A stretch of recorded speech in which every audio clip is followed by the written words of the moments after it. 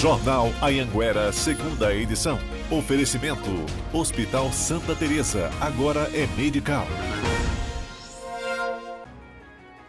Secretaria Estadual da Saúde investiga casos que podem ter ligação com a nova variante do coronavírus. Isso aconteceu depois de 17 profissionais de um hospital público de Porto Nacional apresentarem sintomas da doença.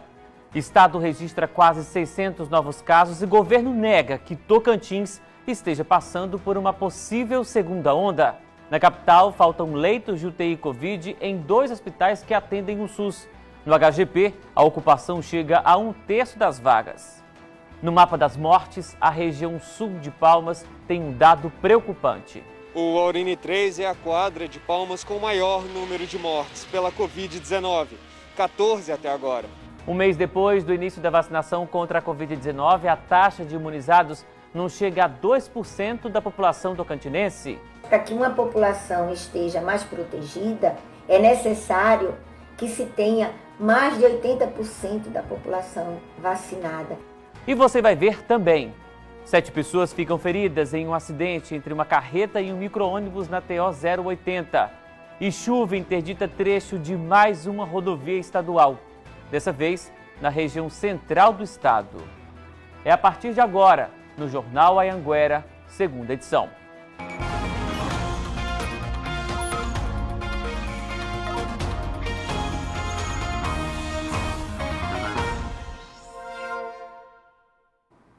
Olá, boa noite para você.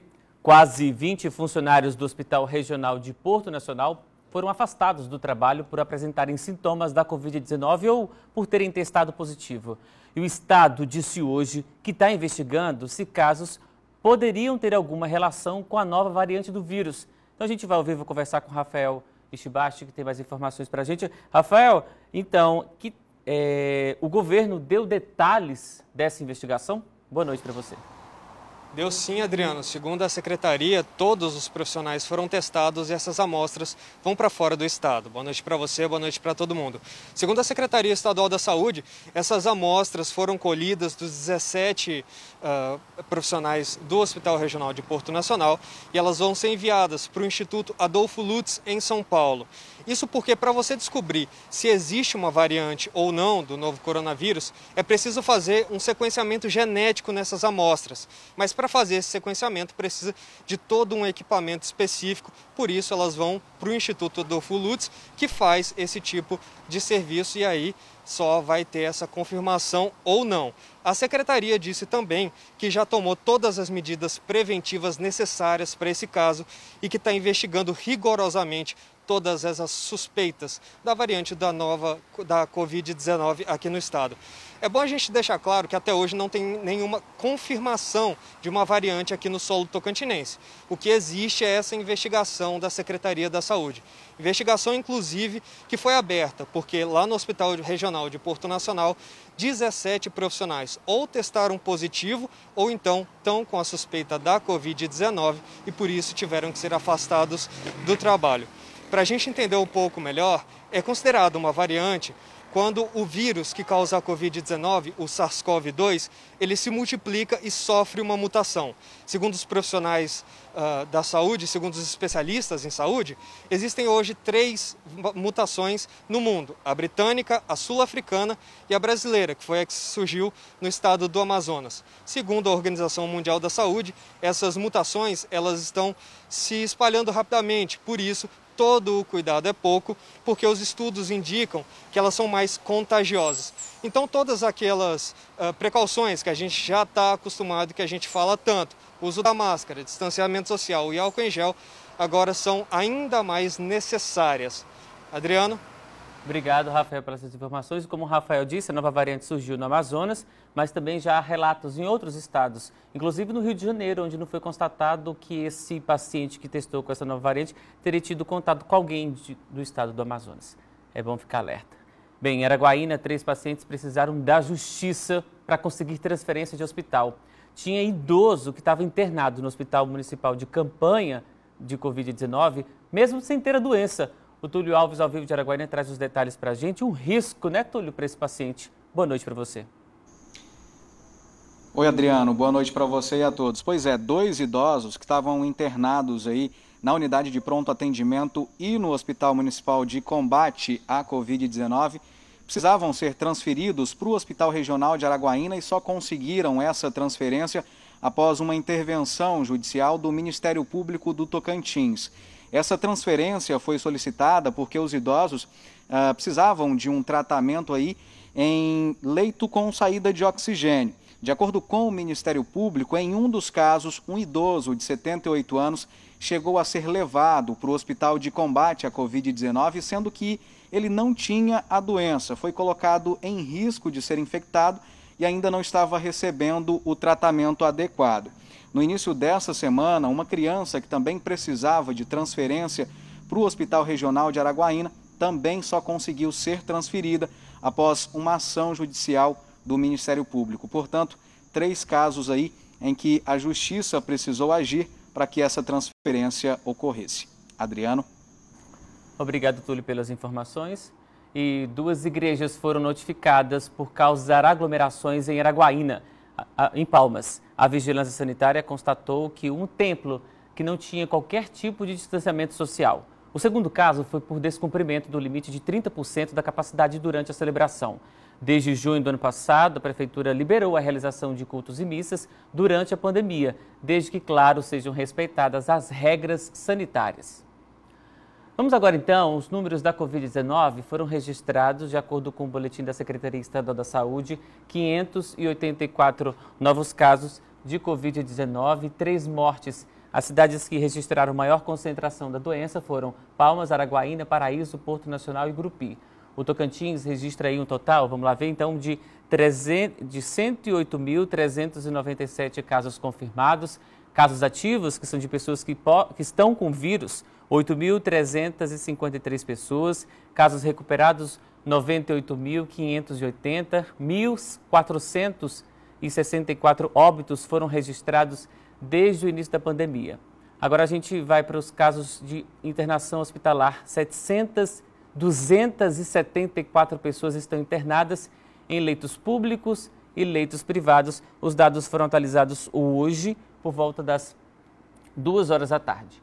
Agora a gente vai então saber como é que está a ocupação total dos leitos aqui dentro do Integra Saúde, que é um site que é abastecido com as informações do, do Estado. Agora a gente acompanha aqui a, a taxa de dados consolidados. Olha só, os leitos clínicos e os leitos UTIs têm um total de 370, o número. E nesse é, quase 50% de ocupação. Quando a gente passa só para os leitos clínicos, a situação é um pouco mais confortável mais ou menos um terço dos leitos disponíveis para casos mais leves, porém que precisam de internação, estão ocupados. Agora, quando a gente chega na, na UTI, que são de todos os hospitais públicos ou dos hospitais que têm algum tipo de atendimento do SUS, a situação começa um pouco a se preocupar. São 63%. Dos 143 leitos disponíveis, 90 estão ocupados. E três hospitais de Palmas estão em alerta vermelho em dois, já não tem mais vagas. Então a gente vai conferir aqui no telão como é que está essa situação. A gente começa então aqui pelo Hospital de Augustinópolis. O Hospital Regional de Augustinópolis, ele fica na região do Bico do Papagaio e atende toda aquela região. São 22 cidades que dependem desse hospital. Há duas vagas, portanto, de leitos de UTI Covid.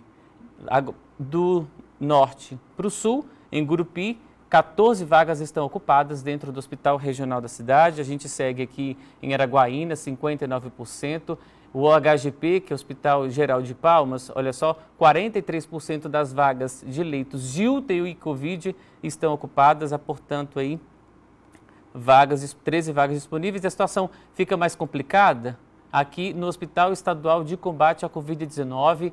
Não há vagas disponíveis nessa unidade, nem também no Oswaldo Cruz, que é um hospital particular, mas que tem parceria, convênio, contrato com o governo do estado. Das cinco vagas oferecidas, todas estão ocupadas. E no outro hospital particular, que é o Hospital Santa Teresa, onde eram 20 vagas disponíveis, depois na atualização do contrato passou a ter 10 vagas, há apenas uma no momento disponível para pacientes que precisam de atendimento via regulação, via SUS.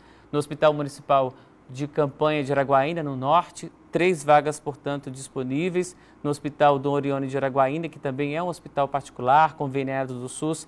Ah, das 15 vagas disponíveis, nove estão ocupadas.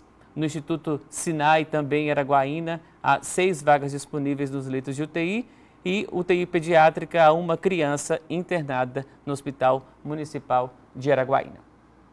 Bem, o número de pessoas que morreram de Covid-19 em Palmas também não para de subir. Já são 250 pessoas que perderam a vida para a doença. A maioria vivia na região sul da capital. O professor João Luiz tinha 42 anos, era flamenguista e dava aula na escola Padre Josimo. Desde 29 de janeiro desse ano, ele estava internado com a Covid-19. Nessa terça, infelizmente, ele não resistiu. Era uma pessoa muito querida, excelente professor. Há gerações aí que vão estar com João na lembrança.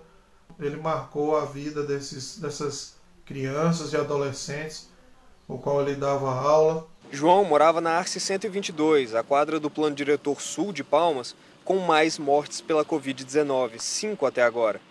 Já no Plano Diretor Norte, a Arne 51 é a que teve mais óbitos, sete.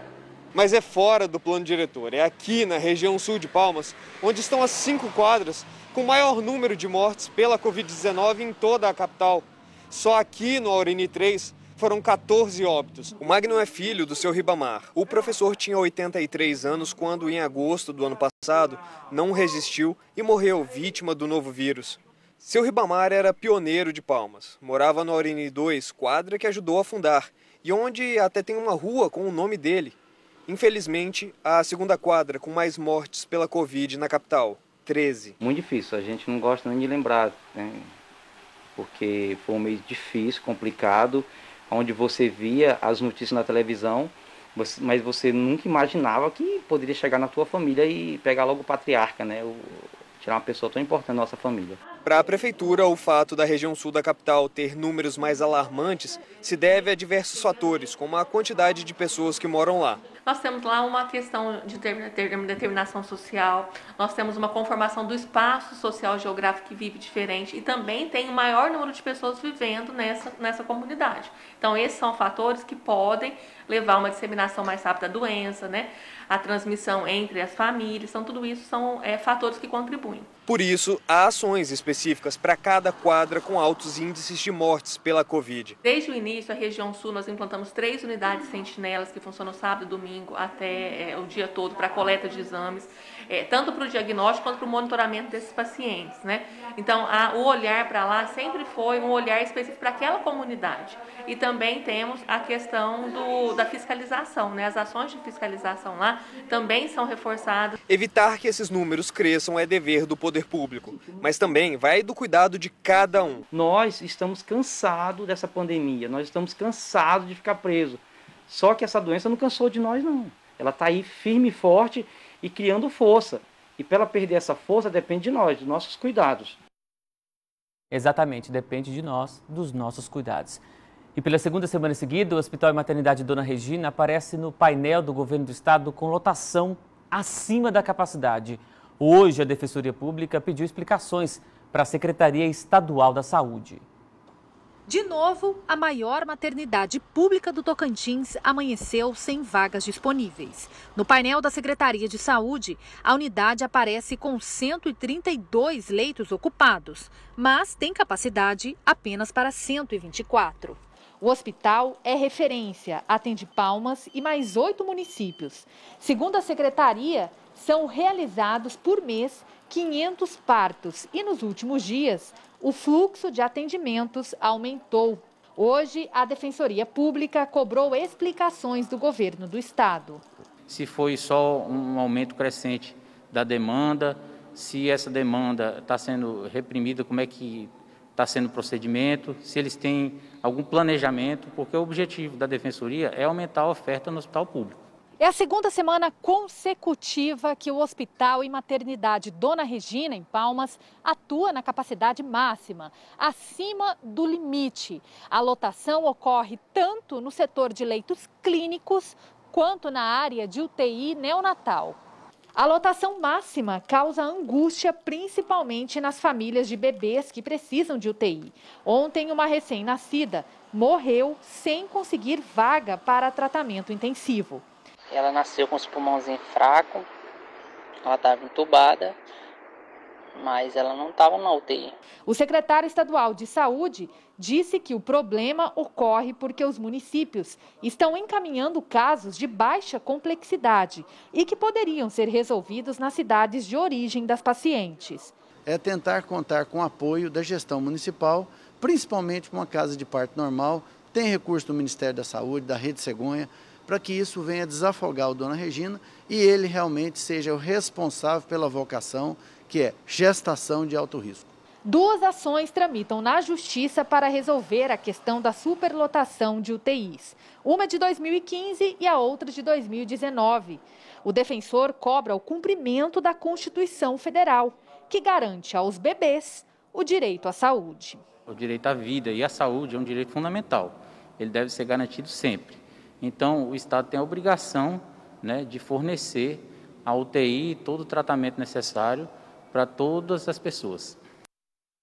Veja a seguir, o mês de vacinação contra a Covid-19 no Tocantins e pouco mais de 40% das doses distribuídas foram aplicadas.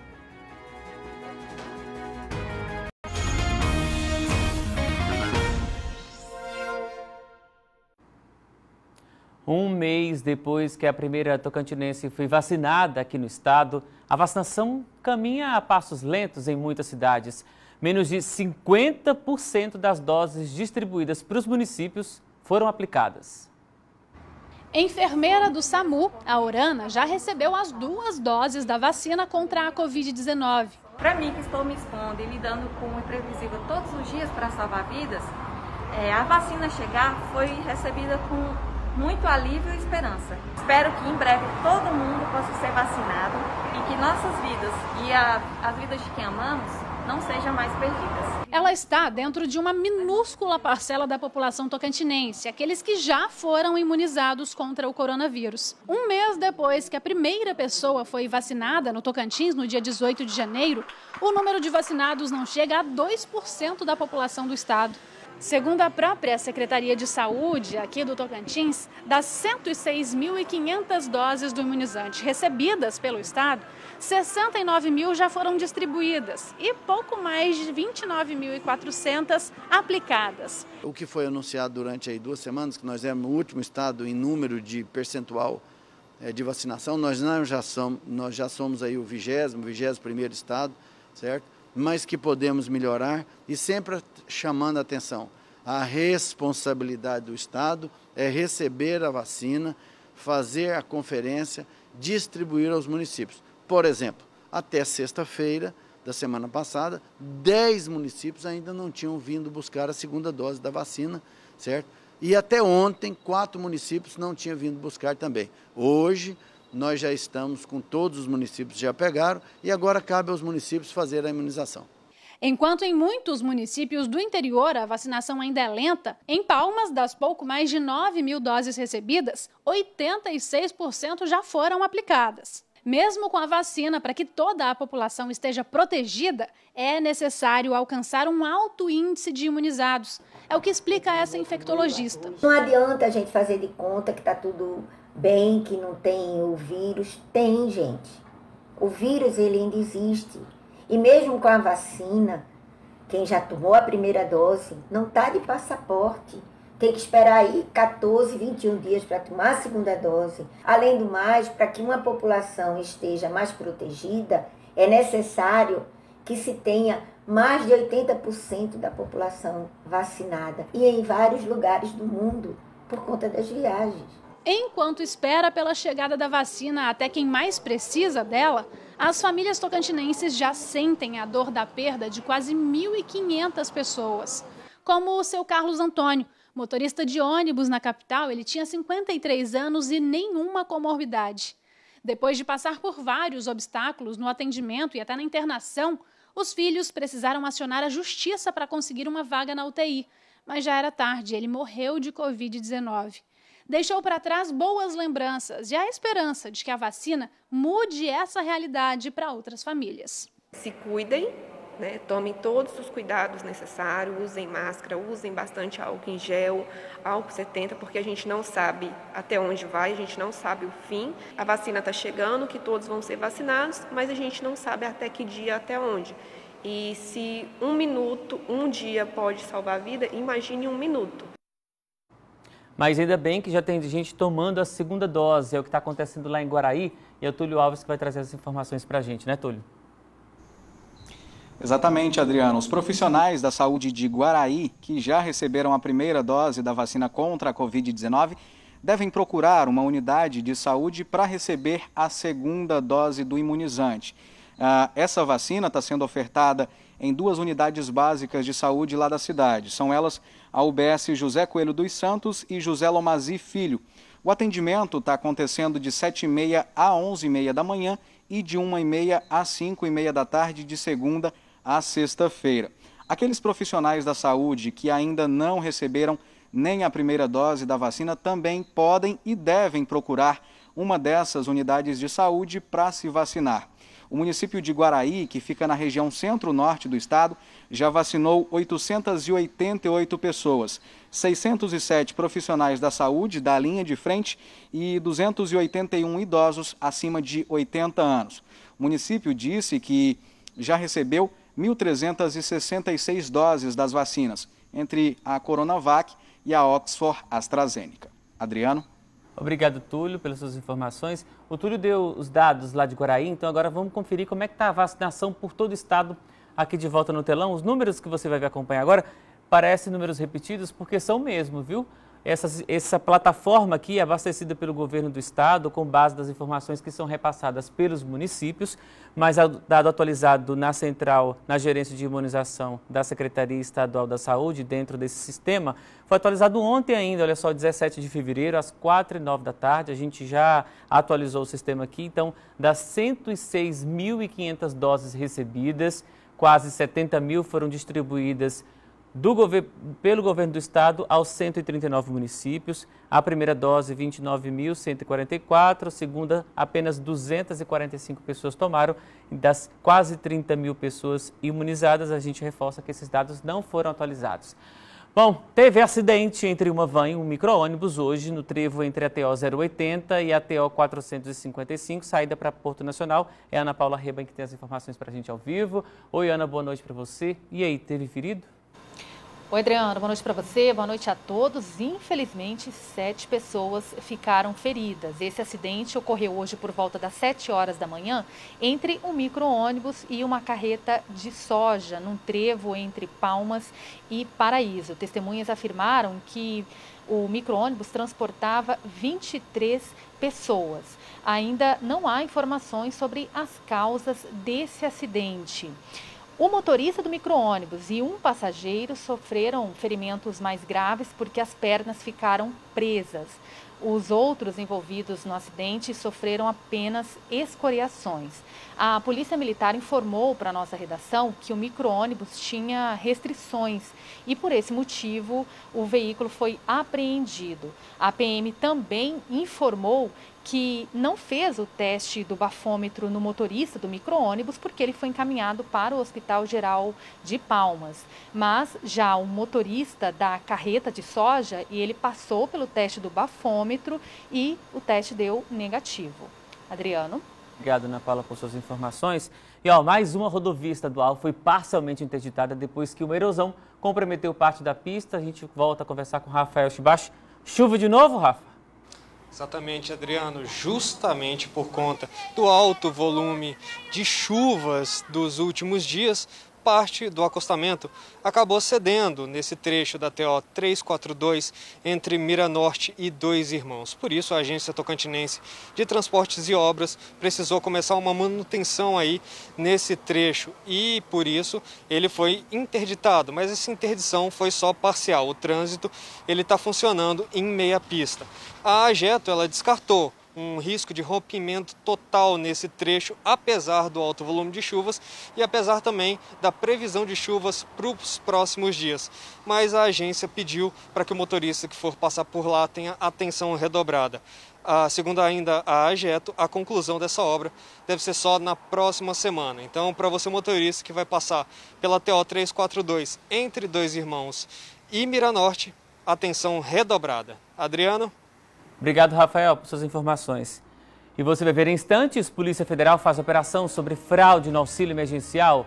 E ainda IBGE abre mais de 1.500 vagas para o censo 2021.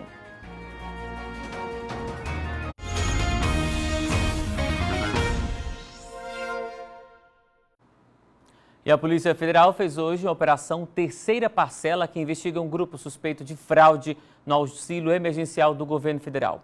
A investigação identificou os pagamentos indevidos e as tentativas de cadastramento irregulares. Os valores eram usados para fazer pagamentos de contas de água, energia elétrica, telefonia, boletos, transferências, saques e compras por meio eletrônico.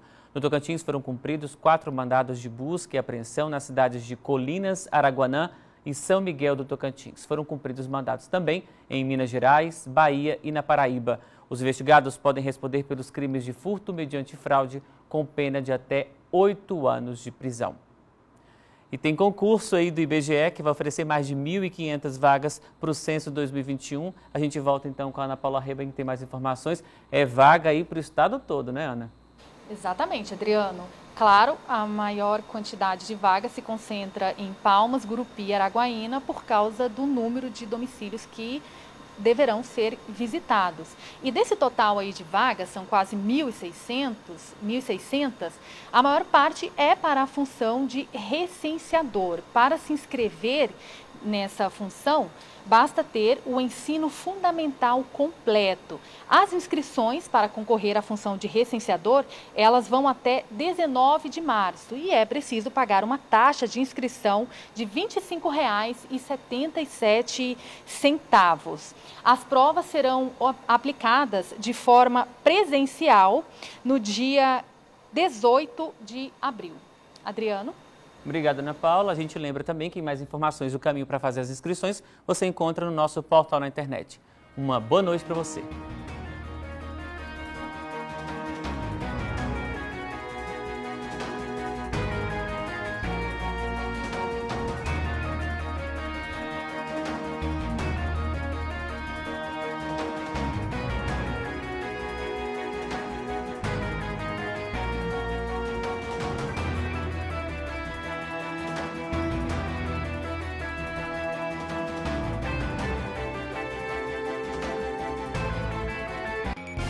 Jornal Ayanguera, segunda edição. Oferecimento: Hospital Santa Teresa, agora é Medical.